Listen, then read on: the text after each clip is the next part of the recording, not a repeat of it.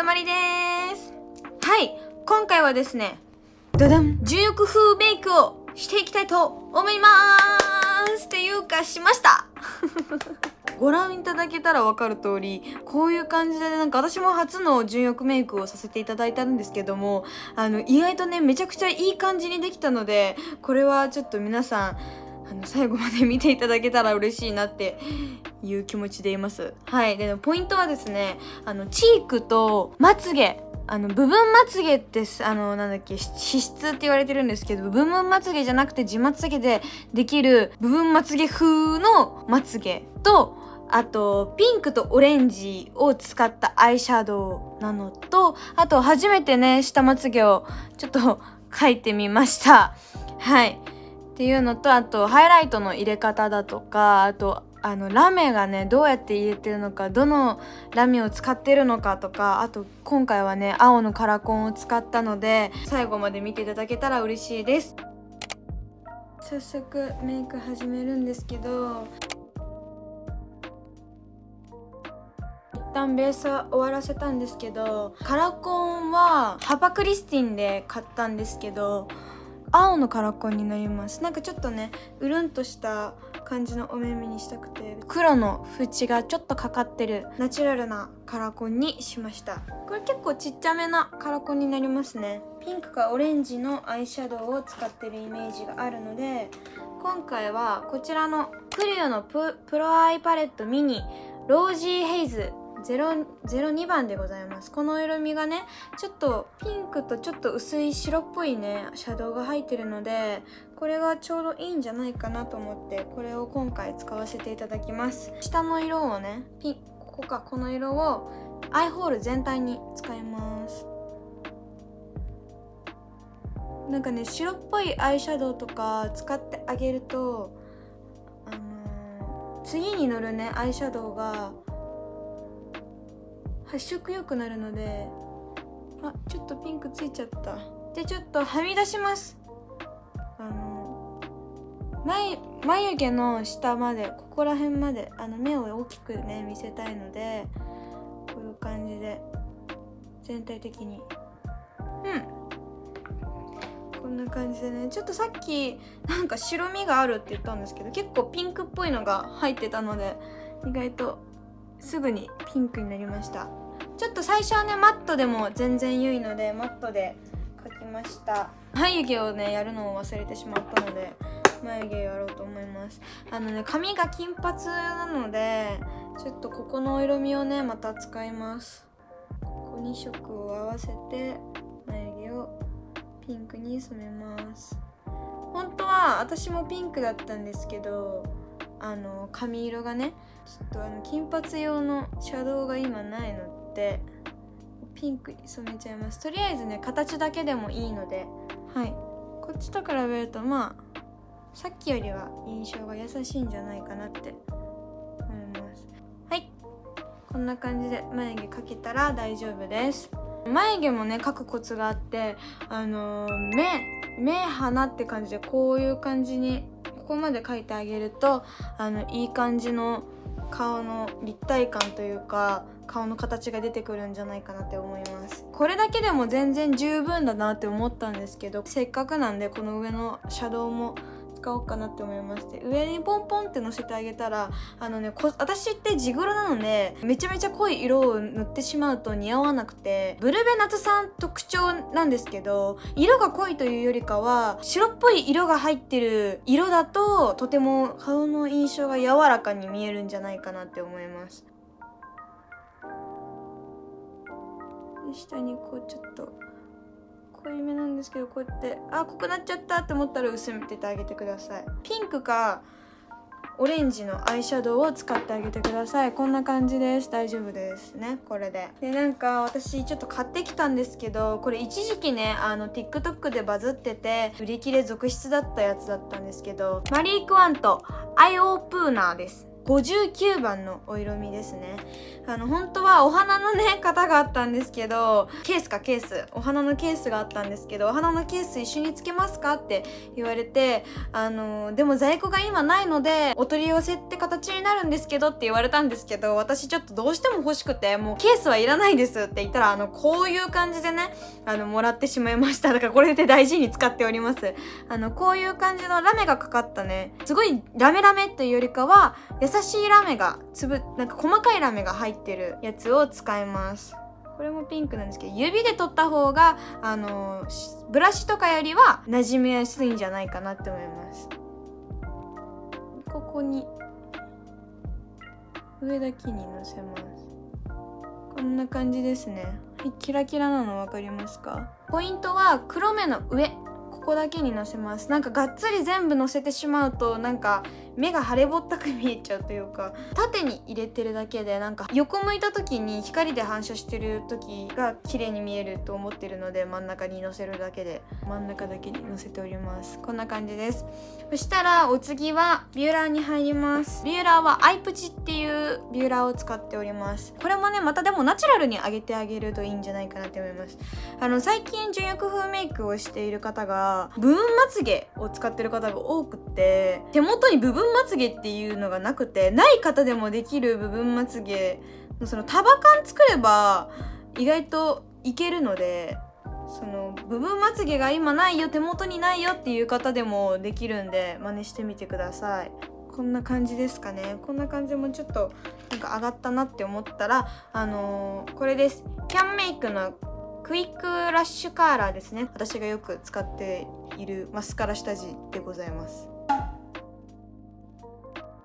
でこうやってね乾かします一回。まあここはね多分もう一通り全部私が今までやってきたまつげ履歴ではもう全部同じ工程をしているんですけども魔女魔女のラッシュエキストエキスパウダーロングロングを使っております。このブラウンを使ってますね。これはもう以前の動画でも多分出てるんですけどこの毎日メイクでもね結構紹介したんですけど私は黒っていうよりかはやっぱりなんか優しい印象を与えたいのでブラウンをよく使っております。でもなんか黒の方が純欲というか風メイクには近づくんではないのかなって思うんですけど私は茶色でも純欲にはなれるのかなと思って今マスカラは茶色を使っているんですけど。どうですか？バサバサに上げてみました。いい感じ？そしたらねピンでねここからはやるんですけどやっぱり部分まつげがない代わりにしっかりまつげを立体感を出さなきゃいけないのでそうね部分まつげがあるだけで結構純欲風には近づくと思うんですけど部分まつげがなくてもこうやって頑張ってピンで合わせれば部分まつげ風になると思うんで。でねこれをねもっとさらに濃くするんですよ。マスカラで。とにかく濃くつけてあげるんですよ。部分まつげ風にしたいのであれば。こんな感じですかね。やっぱりこっちのお目目と比べてみるとかなり目の大きさが変わってくるんじゃないかなって思います。途中からもう涙袋に今入りたいと思ったのでちょっと涙袋に入りたいと思います。次私が使うのはこちらです。えっ、とケイトのダブルライナーですね。これで涙袋を描くんですけどこれもいつもと同じ工程になります。目をねプッて細くします。目を。細くするとこうやって出てきます。こうちょっと垂れた感じのお目目にしたいのでこう入れます。こう。あのあえて下に下ろします。わかりますか？あえて下に下にっていう感じで。爪とかそのぼかす用のブラシがあったらこうやって上に後から持っていってあげるとまっすぐというよりかはここにも涙袋がぷくっと大きく見せれるデカめ方法になるんじゃないかなと思います。ここが大きくなめくじができたんじゃないかなって思います。いろんな中国の方のメイク動画を見てたんですけどある方がこのチーク使っていてこれをなんかもう皆さんにも真似できるようなねやっぱりドラッグストアでも買えるキャンメイクのコスメなんでこれをちょっと皆さんに伝授したいなって思って買ってきました。キャンメイクマットフルールチークでございます。01番ですね。この2つをここで1回混ぜます。ここで。そしたら下に塗ります。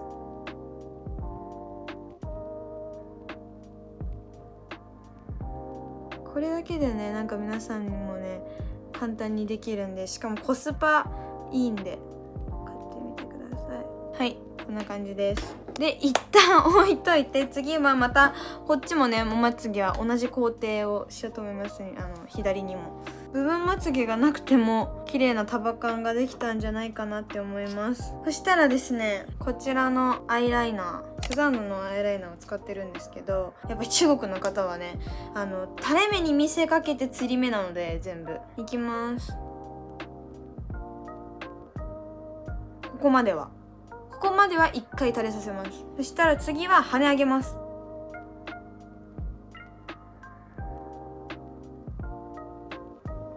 こんな感じで。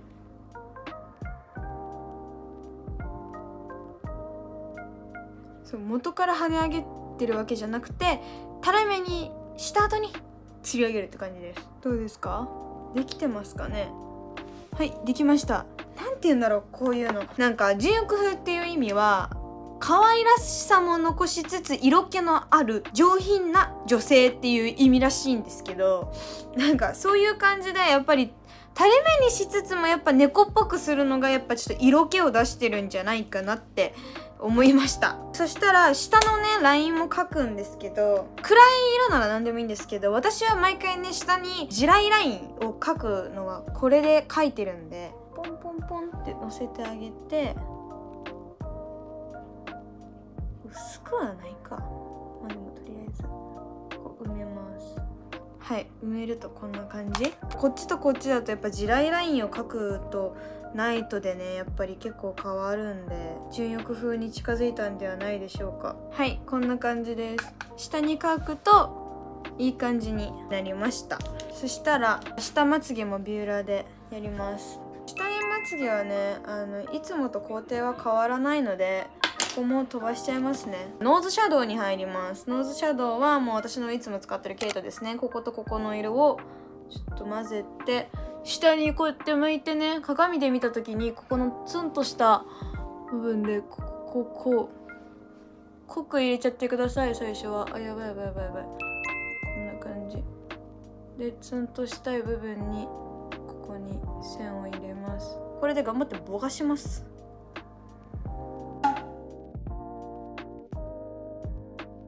か純欲風メイクでねよくまつげを描いてる方とかよく見かけるんですけどあのまつげ描くのも全然ありだと思います。まつげがない方その下まつげがないなっていう方はちょっとあの描いてみてください。私ねまつげの描き方がさうまくないからさちょっとやってみますね。でも茶色いやつでやりますね。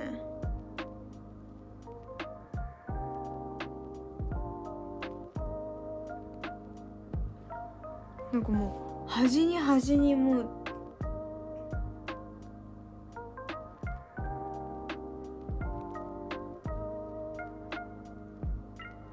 出っ張ってる感じを出しますね。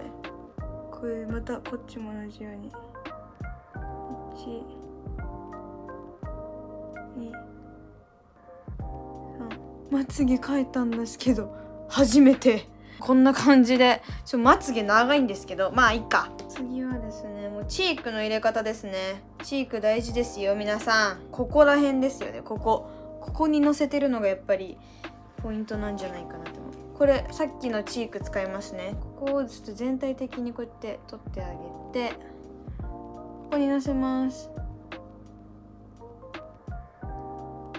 感覚的にはもうここでいいんだと思う。目の下も大事ですね。目の下のここら辺に入れるのとあと横ですね。目の下ら辺の方にたくさんこうやってのせてあげて濃いめにチーク入れるのポイントなんじゃない？はい。こういう感じでやったら次はお花に入ります。鼻はですねもう全体的にもうこことかここ鼻の小鼻とかにも塗っちゃう。はいどうでしょう？それっぽいそれっぽい。いいいいいい。いいそしたらねここにもちょっと鼻高くしたいんでここに入れますね。こことあとここ動かす。OK とんがらせた。できたら次は唇ですね。一回唇の色を落としましょう皆さん。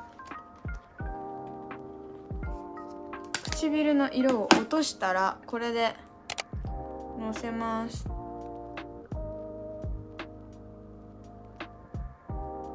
これね純薬風にね結構近いと思うんだよねこのリップの色。そしたら次も同じようにあの中にだけカンカンカンカンって。まあまあままって。そしたらここここ。ふくってなったらじゃあディオールここツヤを出す。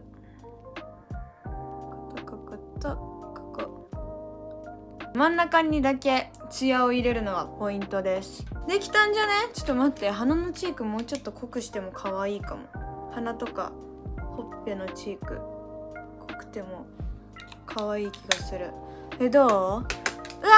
いい感じじゃね？次はねハイライトで最後になるんですけどここにのせます。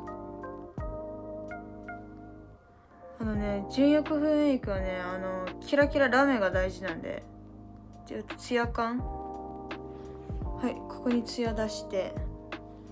はいこんな感じです。どう？なんかねここに載せてる中国人結構多くてさそれを参考にしたんだけど結構。ちょっとだけここにポンポンポンポンって。なんか目の下とか。で鼻の先っちょ。ここだね。ここ。ここがのせのポイントだな。ここじゃなくてここだわ。この鼻が出てる。ここだわ。こう。ここはねもうやっぱり私が王道に載せてる場所です。ございます。はい。どうですか？え？なんかそれっぽくね？結構。メイク出来上がりました。やっとできたんだけどどう？なんか結構自分の中では成功した方なんじゃないかなって思います。でちょっとね髪もセットしてきますね。はい。いや待って。待ってダメだダメだ。私まだダメだ。終わってない。もうちょっと完成度を見せたくて。あのとりあえずここにもねもう一個あのコンシーラーを涙袋にのせるとめっちゃ純欲風だと思ってるから。ちょっと待ってて。ここにのせます。ここはいはいはいはいうん。うん立体感出たんではないでしょうか皆さん出てるよね。出てるよね。いや出てるわはいこんな感じです。うわ。いいよ。えいいわ。えいいいいわ。いいわ。な感じでね初純欲メイク完成いたしました。皆さんどうでしたか？なんか結構私的にはなんか難易度高い本なんじゃないかなって思っております。参考になったかは分かりませんが私的にはすごく気分が良いです。皆さんもねこの動画を見て参考になったって方はグッドボタンチャンネル登録もよろしくお願いします。Twitter、Instagram、TikTok もやってますので概要欄に載せておきます。それではみんなグッバイモーモー